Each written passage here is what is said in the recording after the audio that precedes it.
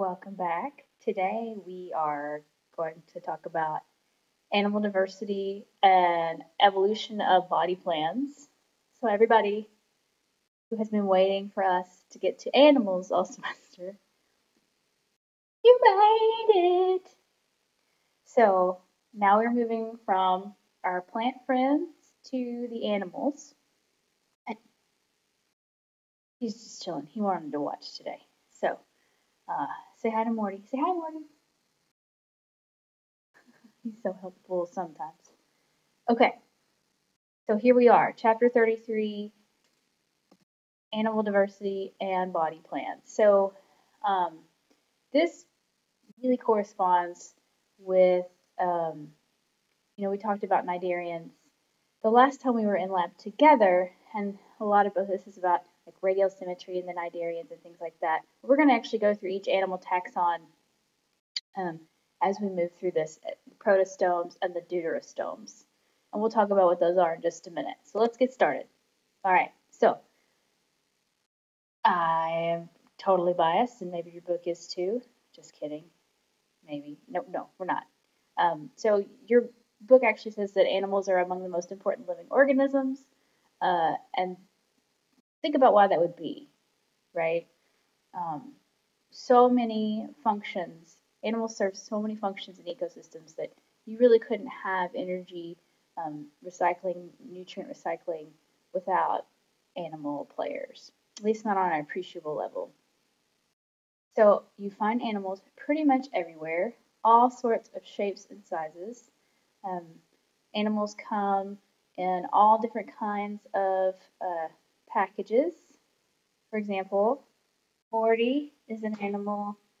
I'm an animal, but you also have, you know, very small animals, um, you know, near microscopic, down to actually, yeah, microscopic animals. Um, live in all different kinds of places. We have all different kinds of behavior. We actually have a whole class on animal behavior in the fall, um, offered in the fall. And basically, um, very diverse group of organisms. I mean, usually when people think of, you know, people who are super into biology, you have plant folks, you have fungi folks, but most of the time, when you talk to a little kid about biology, they're going to talk to you about animals. So there are over a million species of animals described, a million and a half. Most of those are insects, and I'm trying to remember where the quote came from.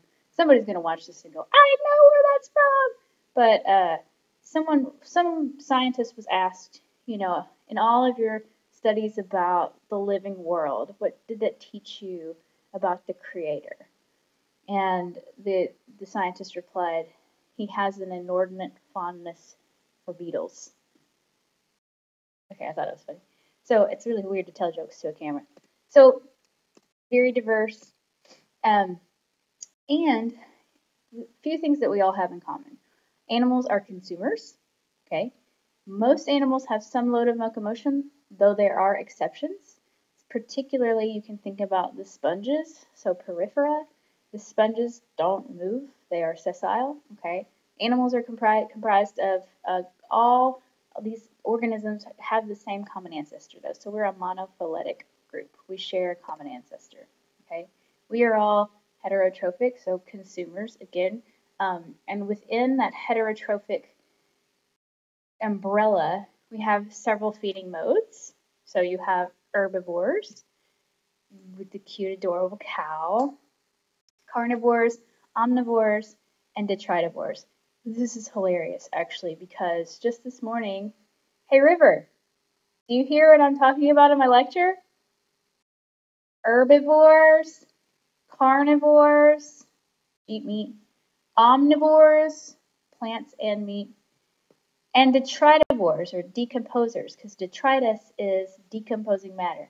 Where does have you heard have you learned that? Yeah. He's in a blanket for it right now.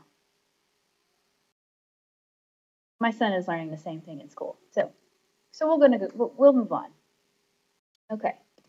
Because I assume that you know how animals eat, but we need to make sure that you know, herbivores, carnivores, carnivores, detritivores, and omnivores. Okay. All right.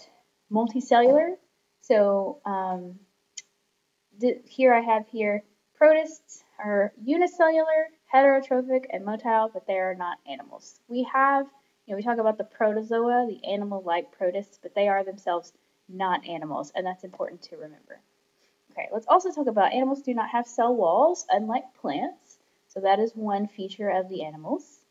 And we have lots of different ways that we move around. So there's a broad diversity in movement and modes of locomotion in the animals. Really, we have much more complex movements than unicellular protists, even the protists that do are, are uh, motile. And one form of movement that is unique to animals, can you think of it? Flying. Flying is absolutely unique to animals. Um, so if you look here, you see all the amazing ways that animals can move. We can swim, we can fly. I can't fly, but that bird can fly. We can slither, you know, we can run and trot and whatever what whatever that cat's doing, you can stand. Yeah, that was actually not a joke. That's yeah. So we have all these very different ways that we move. And we are, um, as I said, very diverse in form. So you have all the way down to, you know, microscopic mites, all the way up to, you know, huge blue whales, sperm whales, large, some of the largest animals on Earth. You should know most animals are not vertebrates. Vertebrata is a subphylum of animals, um, of chordata, phylum chordata. Okay, and uh, only I think so fewer than 60,000 of animal species are actually vertebrates. Most animals do not have um, have backbones. Pretty cool. And we live everywhere. So we are, as animals, I say we because we are also animals, grouped into 35 to 40 phyla. And most of these only have marine members, members of um, organisms that live in the sea. So most animals, most of the diversity of animals live in the sea. Um, arthropods, so we're going to talk about all of these. Arthropods, mollusks, and chordates have all been really successful in the ocean and are also dominant on land. So arthropods, those include the insects um, and mollusks. So we're going to do mollusks and arthropods in lab next week and the week after. So that mollusks next week. This week is flatworms, and the following week will be arthropods. Chordates and echinoderms will do the last week. So you'll get a really nice up close, well, through a camera um, experience with these organisms. Okay, all right. So animals reproduce sexually. So also, unlike in plants and fungi, um, our haploid gametes do not divide by mitosis first. So that's something to, to remember. Okay. Um, in embryonic development, the zygote undergoes my, mitosis and in that way develops into the embryo, but it is not, you don't have mitotic divisions of the haploid gametes. We also um, have tissues. Now, plants have certain kinds of tissue, but we have these structural and functional units that basically um, these collections of cells that perform specialized functions. Uh, that is a hallmark of animals. So, for example, um, you know, here I have you know, connective tissue, nervous tissue, cardiac muscle, so specialized structural units, collections of cells that perform a specific task. I'm saying that again so you can remember it. So, we have these tissues, but there is an exception. There are animals that do not have specialized tissues, where they explore. Sponges! Sponges don't have specialized. Yeah, yeah. Did you hear? He was singing He's the Map. Okay. Muy bien. Ah, so. All right. So let's talk about the five key innovations in animal evolution. So we're going to talk about uh, each of these in turn. I'm just they're just listed here. Okay. Symmetry, tissues, body cavities. Sorry, no why. I didn't mean to laugh at that. That wasn't okay. Patterns of development. We'll talk about that. And segmentation. Okay? And features that evolved only once, those are, we see those as evidence of a close evolutionary relationship. So any innovation that evolved one time, we typically see as a synapomorphy, which, if you recall, a synapomorphy is a shared derived characteristic. Okay? Uh, when we see certain innovations evolve multiple times in different clades, we see that as evidence of convergent evolution. Okay. All right. So let's talk about each one of these. Symmetry. So you know that sponges lack symmetry. Virtually all other animals have some form of symmetry, and it's two kinds. Radial symmetry, so we talked about this in the cnidarians, right? They're radially symmetrical, which is around a central axis, so radi radial symmetry, right? Here, I'll show you. Ah, there it is. And bilateral symmetry, like you and me, down the sagittal plane. Okay, so let's talk about each one in turn. So here's radial symmetry. Check it out. So we talked about that. Of the animals we've seen so far in lab, Porifera, the sponges, no definite symmetry. Cnidarians, Cnidaria, radial symmetry. Okay, so this is symmetry about an axis here, a central axis. Okay, and essentially it's they tend to be it's radially symmetrical. It's basically you look here and there's a central axis, right, and it, you could divide it in half basically by any plane that goes through that center axis. Okay. So, I mean, think about this. All the animals you can think of like that. Um, jellyfish, now I'm thinking of cnidarians, but jellyfish, um, starfish as adults are radially symmetrical, but we're going to talk about that in just a minute because they're actually, that's a little bit of a special case. Okay, so bilaterally symmetrical an animals are altogether called the Bilateria. That's just how we're referred to. So we're part of the Bilateria. Okay, and basically what that means is if you if you bisect the animal down what we call the sagittal plane, which is here, if I were to take, oh, no, I was like, don't don't get something that looks sharp, that looks scary. Um, I have a, never mind. So that's the sagittal plane. So we are symmetrical, roughly. I should say roughly symmetrical, because if you've ever seen a picture of somebody who is actually mirror image, they look weird. But we are bilaterally symmetrical, right? You have an arm on each side. Well, hope you might have an arm on each side. If you don't, maybe you don't. Maybe you lost it. Um, anyway, the the plan itself is you have one, two legs, two arms, at least in our case, right? But it's you can divide the animal in half. All right. I don't think I need to explain that to you because it is you. Um, but I just want to make sure you understand. So this is the sagittal plane. You can divide there. All right, so there's a few advantages. So um, being bilaterally symmetrical is in and of itself an innovation because there are a couple of nice features of being bilaterally symmetrical. The first is cephalization, which means that uh, we evolved a defined brain area. So typically it's typically it's the anterior end of the animal, right? Um, and that's really useful. So you have a concentration of nervous tissue, that's helpful, but also, you know, if it's um, if you have cephalization, you also it's it's protective. Typically, it's protective. You have some sort of protection of nervous tissue, right? It also allows for directional movement,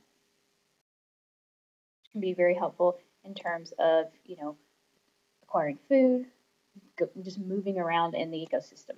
Okay, all right. So, um, in some some organisms, this is a little difficult to define, and I want to move this for a second. Let me show you. Because, so this is an echinoderm, it's a sea star, right? These are larvae. So echinoderms are radially symmetrical. Um, but the larvae are bilaterally symmetrical. I know, So basically, phylogenetic analysis has shown that um, the radial symmetry is actually a derived trait. They, um, they had a bilateral ancestor, and that radial symmetry was a derived condition, which is what I'm saying here. So some organisms have been difficult to define, but looking back at phylogenetic analysis, we can say, oh, okay, you, echinoderms, they look, they are radially symmetrical as adults, but as larvae, they are bilaterally symmetrical, so they are part of the bilateria. Okay, All right, so tissues. Let's talk about um, the evolution of tissues as an innovation. So this is a really cool thing. So uh, I don't, I, I, think that we've talked about this some, you know, when you have a zygote, so uh, a fertilized egg, those cells are, but are totipotent. So what does totipotent mean? I think we've mentioned it before. Essentially, what totipotent means is all powerful. It means they can become anything. They are undifferentiated cells. Okay, so as a zygote develops into an embryo, the cells specialize. And this is an irreversible process in animals, with one exception. You want to guess?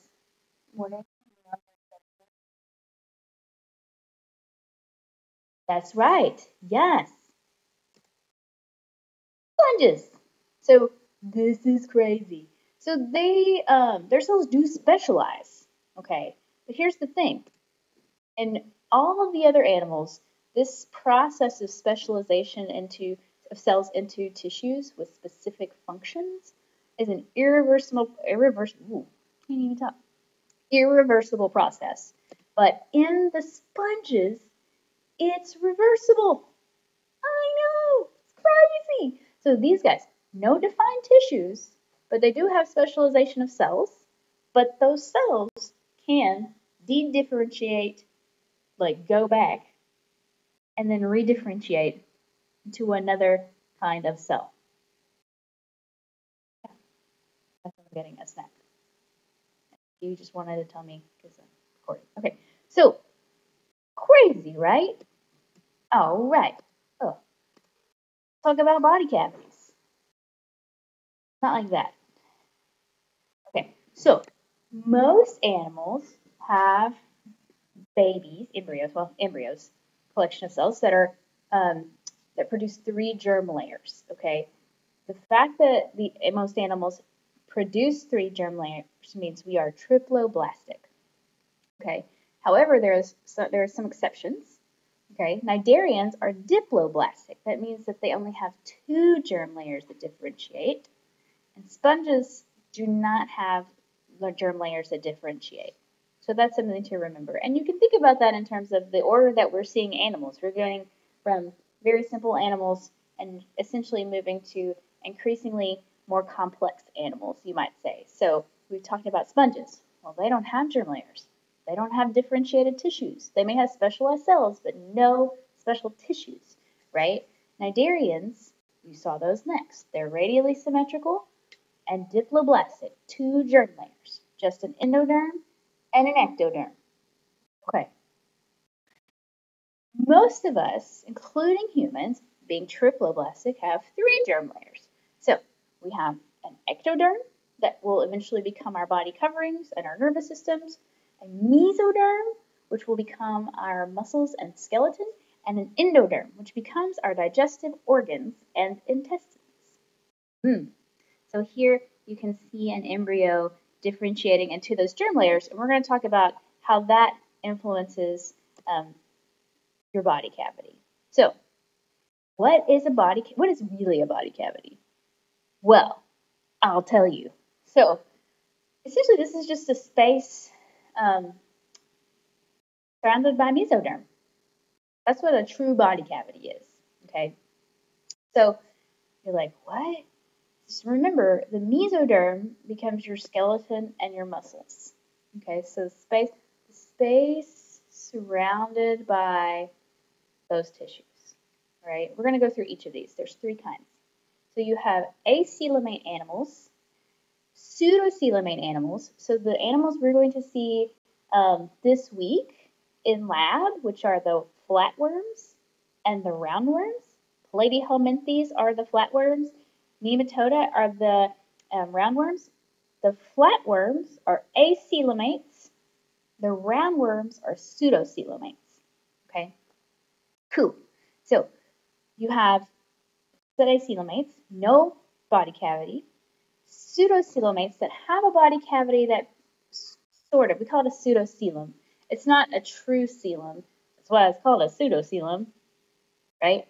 Um, and so the pseudocoelom is between the mesoderm and the endoderm, and then the actual coelom and true coelomates is within the mesoderm. I'm going to show you each of these, and these are all in your book, so you can look at them. Okay? So here, here we have a flatworm, casual, little planaria, which you'll see in lab this week. They're adorable. All right, free-living, adorable flatworm. These organisms are acoelomates. So if I were to, oh no, I cut them in two, uh, or look at a cross section here, okay, you'll notice there's no body cavity between the digestive tract, which is derived from the endoderm, the surrounding tissue is at least, and the musculature, okay, which is derived from the mesoderm. Okay, there's nothing here. This is mesoderm. Mesodermally derived, I should say. All right? I. So that's a coelom. There ain't no coelom there. This, look, you see that? There's no coelom. Whoa! Okay, here's a nematode, a roundworm. So you're going to see vinegar eels in lab this week. Nematodes are everywhere, all over the place. Um, and one of my favorite nematodes is actually a free-living soil nematode that we have learned so much about uh, cell and molecular biology from. And that is Caenorhabditis elegans. Shout out to my first advisor ever. He was a C. elegans guy. He's a worm guy. First stuff I ever did research on. First organism I ever studied. C. elegans. So I have a very special place in my heart for nematodes. I mean, free-living nematodes. I don't, I don't want any nematodes in my heart. Okay, so pseudocoelom here. So what's happening here?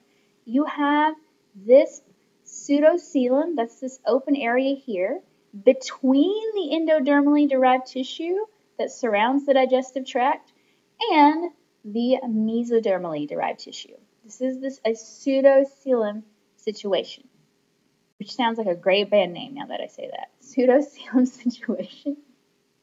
this is good. Okay. I also want to point something out as just a little aside. I'm shouting out to my first mentor again today. He's getting a lot of shout outs today. Um, here's the digestive tract. I was always taught uh, by him inside your gut is outside your body, right? This is inside your body. This is still, this is inside your gut is outside your body. So that's just something to keep in mind. All right. And That's you, buddies. All right. So Example of this are the annelids, which we will see in lab, I think next week is our annelid lab. All right, includes the earthworms, our buddies. So here in the coelomates, the body cavity is completely enclosed within mesodermally derived tissues. That's the difference, okay? Cool. So you see you have mesodermally derived tissue surrounding that endodermally derived tissue, which is surrounding and basically making the supporting the gut, right? And then out here, still mesoderm. So it's within, fully within the mesoderm. That is a coelomate animal. Alright. Let's talk about circulatory systems in animals. So you have two kinds. Open circulatory systems and closed circulatory systems. All right. So in small animals, usually um, you have the circulatory system. There's very simple circulatory systems. You'll have, rather than having a closed system, you'll have um, an open system, like you see this in insects, where they still have hearts, but in very small animals, body movement actually is really important for the movement of um, of blood throughout the body, or blood-like fluid like hemolymph. Okay, so small animals the, their nutrients and oxygen are distributed and waste are removed by fluid in the body cavity, whereas in larger animals you have a circulatory system, okay? And so you have an open circulatory system and a closed circulatory system. And in the open circulatory system, you actually have um, where your blood is pumped into these open areas called sinuses. In closed circulatory systems, you do not have that, and you have connections, you complete connections, even if it's very small um, capillaries. So just remember, you have open and closed circulatory systems in animals that have those. All right, let's talk about ooh development. Yeah. So I also want to make you aware that if this kind of stuff is interesting to you, Dr. Jones teaches an animal development class in the spring. She's teaching it right now. So that's something to keep in mind down the line. You might want to take that as one of your biology electives. Okay, so let's talk about how the bilaterians develop. Develop. I don't know why I said that the wrong way. So essentially what happens is you have your so you have your fertilized egg, that's the zygote. Also, if you're wondering why I keep looking down, this is instead I think I've said this before, instead of looking back, I look down now. So what you have, you have your zygote, your fertilized eggs, right? All right. And then you have mitotic divisions. This is what we call cleavage, right? And eventually that will form a ball, a hollow ball of cells. That here is the blastula. Then, this is a very important process. Then, gastrulation occurs. This is where the blastula then indents to form a two-layered ball. Okay, that is, that makes it the gastrula. So gastrulation gives rise to the gastrula, where you have this blastopore. This is really important in animal development. This blastopore is an opening that opens into the archenteron. Archenteron, so enteron refers to the gut. You think of like enteric, enteron. So gut and arc is primitive, right? We've talked about archaebacteria, so archenteron, primitive, gut. Okay, so this is an this is an embryo this is embryonic development here in an animal.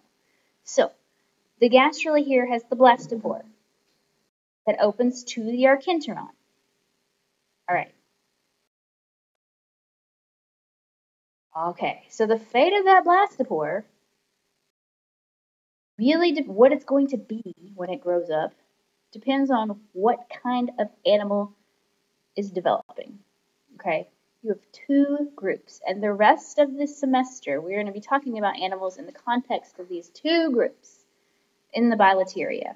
All right, so in the bilateria you have protostomes, proto meaning first, stoma meaning mouth, so first mouth or mouth first, and deuterostomes, second mouth, mouth second. Okay, and I, so how do they differ? Most animals are protostomes. You're not a protostome, but most animals are. All right, so I, here we have all of these examples from the various animal phyla, right? So here's a mollusk, right? An arthropod, nematode, flatworm. So here, annelid. So here are the phyla. I should say that again. I went through that fast. So platyhelminthes, nematoda, mollusca, annelida, the annelids, the segmented worms, and arthropoda. Okay. So these are protostomes. What that means is that that blastopore becomes the animal's mouth. It makes its mouth first from that. Well, it makes its mouth from that that embryonic blastopore. Okay. If the animal has an anus, not all of these animal, animal, animals do, it will develop either from another region in the embryo or from another, like it can develop from the blastopore um, as it as it move as it develops fully. Um, but it could also be from another region of the embryo, depending on the animal. So, protostomes, though, you just remember the blastopore comes the mouth. Okay, now the deuterostomes include this is a sea urchin, so the echinoderms, phylum Echinodermata, and the chordates, phylum Chordata, which includes us. So the blastopore becomes the anus. Uh, I gotta tell the joke. So, uh, this is a joke my, my first mentor told, told actually. Um, he said uh, humans are deuterostomes, and that's probably why so many people are assholes. Get it? Because we make our butt first. from the blood. Okay. Huh. I, I'm recording this. I record all of these. What am I saying? I've been recording them all semester. This isn't new. Okay. So, deuterostomes. The blastopore becomes the anus. That's echinoderms and chordates, like us. All right? You were a butt first. Well, you were a blastula. Well, you were a zygote. Anyway, as you were going through embryonic development, the anus came from the blastopore. All right. And your mouth developed later. You're welcome. Uh, you should tell your whole family that you learned that today. Take that to the bank. Hey, River. Did you know that when you were an embryo, I think I told you this, uh, you made your anus first? Yep. Okay. As an embryo, when you were developing, you made your anus before your mouth.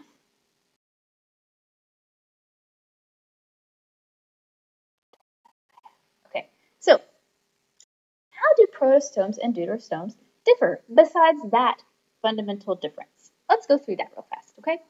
Well, let's not do it too fast. So, thankfully, you can pause me now. All right, so I think I have five, five, there's four, there's four ways, yes. Yes, all right, so the first way that protostomes, so here's something you're gonna wanna remember because I might ask you someday, how do protostomes and deuterostomes differ in their development? And you would go, well, the blastopore becomes the mouth in protostomes, whereas it becomes the anus in deuterostomes, and the mouth is after that. But there is more. So, here is the more that you would need to remember forever. This will serve you well because you will see this in your later biology classes. You can't get away from this because it's it's animal development. All right, so guess what we are? Animals. All right, so cleavage patterns are different. In protostomes, so when I talk about cleavage patterns, this is relative to um, the embryo's what we call the polar axis, which is here. It runs from top to bottom through the center, all right? And it determines how the resulting cells lie with respect to one another, okay? So protostomes undergo spiral cleavage. What this means, if you see here, so these are new cells, and it shows you the direction of them being added, okay, or formed. So new cells form to the right or left of previous cells in like a spiral, okay? So you see it's going like this. Do, do, do, do, do, do, do, Cleavage, all right. So deuterostomes, they undergo, we undergo radial cleavage as embryos. So new cells form on top. So as opposed to being like do do do do, right? And it's if so this is if you're looking sideways at the protostome embryo and then up, right, over it. Now if we're looking sideways at a deuterostome embryo, right? These are being just formed on top of the previous cells. So it's just a stacking, essentially. This is an overhead view right here. Okay? So those cleavage patterns are different. Second thing, the fate of cells of, during development is different. So protostome cells have what we call determinate development, where the fate of cells are determined early, and deuterostomes have indeterminate development, where cell fate isn't determined for a while, till after some cell divisions. This matters because if you were to excise a cell, since cells differentiate really early in protostomes, if you had an embryo and you excised a cell or cells from an embryo and they're determinate, so it happens, that differentiation happens early, then the embryo won't develop. Like it will like it will usually arrest development. Hmm. Um, not arrested development. Well, yeah, it'll it'll exhibit arrested development because some of those cells have already differentiated. Okay. In deuterostomes, since you don't have that determinate development, it's indeterminate development. Cell fate is not decided as early. So if you excise take out some cells from a deuterostome embryo, from any echinoderm or chordate embryo, then the, the organism will still develop normally. I think that's cool. I'll fix this a little bit that's weird. Ah. Yeah, I think that's cool. All right, so that protostomes have determinate, early determination of cell fate. Deuterostomes have later determination of cell fate. One nice way to remember that, I like, here's how I remember it, honestly. Um, protostomes have, they make their mouth first, okay, and they have early, oh, I shouldn't touch my face, and they have early cell determination, whereas deuterostomes, like us, we do not make our mouth first. We wait, and we wait, our cells wait to determine their fate. They're indeterminate. So that's one way that can help you remember it. Okay, the third thing is how we form our coelom. All right, so in protostomes, let me show you, there's this little, your book has, I'm going to show you um, a figure from your book that's helpful for this, but here, so here on the bottom, these are the protostome. This is a protostome embryo and it, it, during coelomic development, coelom development. So here you just have cells. So they start down here. That's the purple stuff. Okay, cells moving apart to form a coelom. Whereas in deuterostomes, cells pouch off. So you see here, the cells starting to grow off, all right, and then they pouch off. So protostomes, cells move apart. Deuterostomes, they pouch off. So to see all of those together, the four ways that um, organisms, oh no, the four ways that these animals differ in their development. I am very um, slyly plugging my computer back because I forgot that I unplugged it. Okay. Is, are, are cleavage patterns. All right. So in the protostomes, spiral cleavage. Let's just go through the protostomes. With determinate development, if I were to excise a cell, the embryo would not develop. The blastopore becomes the mouth, mouth first, and the coelom is derived from uh, cells that are just moving apart from each other. Okay, cool. So here in deuterostomes, you have, uh, whoa, sorry, you have radial cleavage, took me a minute, radial cleavage happening here, right? So those cells are being built on, they go on top of each other, all right, as the embryo develops. You have indeterminate development, so if you were to take out a cell, the embryo could still develop. The blastopore becomes the anus, and our coelom is derived from where these cells have started to grow, and then they pouch off and become the coelom, all right? And so here is an, an embryo, the mouth here, and the anus here. All right. And this here is the digestive tract. Inside your gut is outside your body. All right. So another uh, another important innovation of animals is segmentation, and the names of these segments we call them somites. So you see, this is actually in a developing um, a developing embryo, so you can see the segmentation here. You can also see it here in this lovely salmon. Okay, that was one key innovation. And the reason that that was so helpful was because it allows you to be, well, it lets you move, right? You can be a lot more flexible and a lot more efficient if you have segments because they can move independently. Okay. Um, it also allows for redundant organ systems. So an example of this would be in the annelids.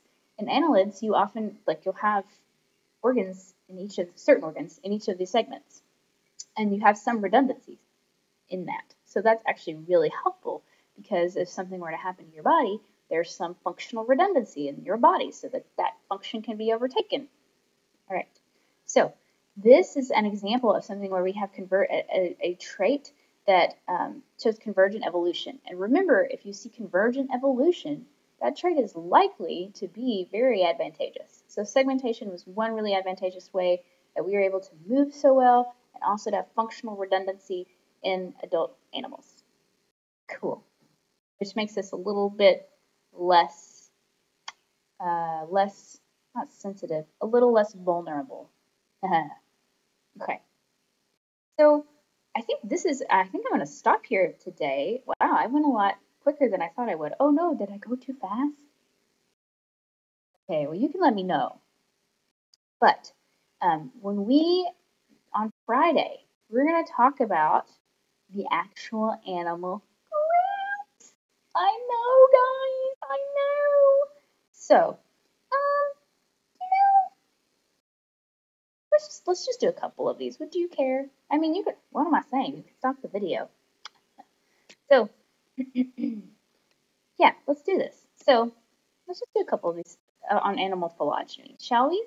So um, there's some common ground between traditional and new phylogenies, but there is some disagreement among biologists.